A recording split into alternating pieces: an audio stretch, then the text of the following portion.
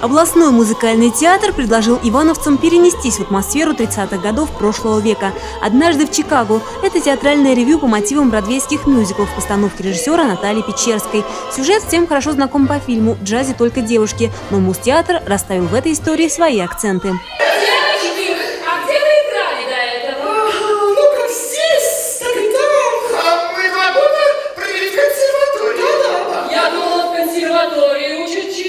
Года.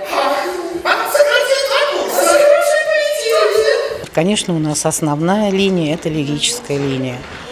Линия одиночества, линия, когда человек может заблудиться между, скажем, даже полами, заблудиться между сытой жизнью, нормальной жизнью, между любовью и безденежьем.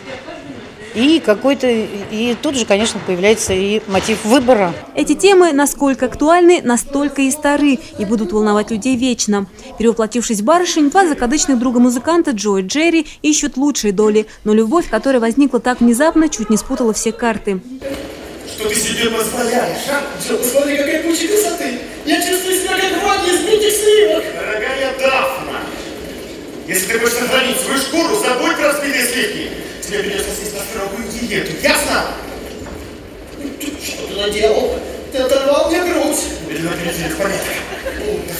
Как скажешь, Джозефина. Женский туалет? Да! Дафна!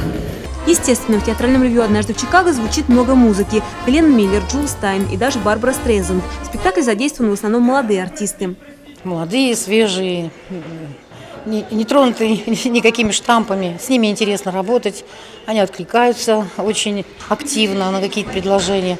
С ними интересно и спорить, и с ними интересно побеждать. Сергей Захаров, исполнитель роли авантюриста-саксофониста Джо, отмечает, что образ его героя во многом созвучен самому актеру. Есть между ними что-то схожее, а потому дышится в этой роли легко. Это свободолюбивый, честный человек, в первую очередь. И потом он никогда, никогда не унывает, как и я. Он всегда стремится жить, всегда хочет этого, всегда э, добивается своей цели, если он действительно ее хочет. И если вот он видит эту девушку, что это она, то он идет и это делает.